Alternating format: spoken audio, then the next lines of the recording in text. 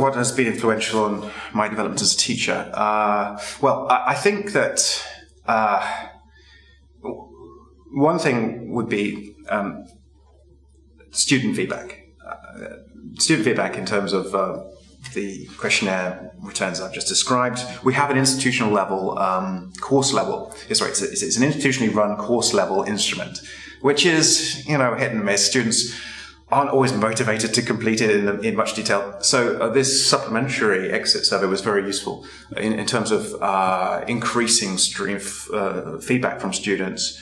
Um, so that's been very helpful. Every time with my courses, I try and and change in accordance with what I can see as the dominant voices coming through. There's one course I teach on, on the modern world. I've changed it every year. I'm going to change it again this year, you know, because um, the students I sense are changing. You know, this is part of the history of youth. You, are kind of tracing the way in which expectations, uh, assumptions are changing over time. I've seen an enormous change in Hong Kong students since 2001 when I started teaching to, to today. They are utterly different in terms of their approach to learning.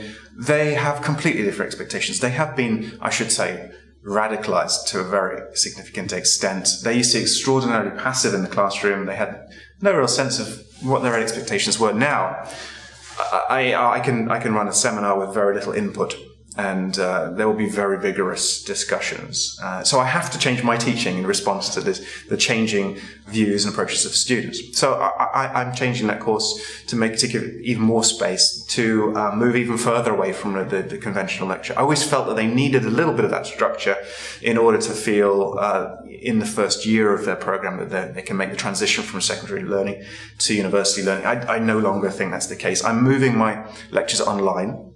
So I'm exploring ways of using technology to provide an engaging experience, one which is not linear, which is actually uh, which actually involves mul- multiple choice and different pathways through the, the, the lecture on an individual level, uh, and uh, that's in response to student feedback again. And they, I'm going to use the classroom time for something completely different, which will be um, opening up big discussions using primary documents and uh, and debating, often with the role play dimension. I think. Um, the other thing would be my institutional experience. This is very, very much it's transformed the way I look at teaching because previously I had, a, you know, just simply the view of a teacher within a, within a single unit. But I, I, from 2008, I became associate dean uh, for curriculum development in the middle of a curriculum reform, and that exposed me to an awful lot of um, uh, administrative, high-level administrative discussion of um, programs of uh, what a curriculum should be. I, I, ended up becoming the convener, that's kind of the organizer of um, the humanities area of the, of the new Common Core curriculum, which is a broadening program we introduced. It's been rolled out just uh, in the last two or three years. Uh, and conceiving of a, a humanities area, an entire area, involving courses contributed by teachers from 10 faculties, uh, for students, primarily Chinese students, is an enormous uh, challenge, and also it gave me a, very different perspective on learning from the top down. You see, uh, so that's been those those two different ways have, have informed my uh, uh, approach to teaching.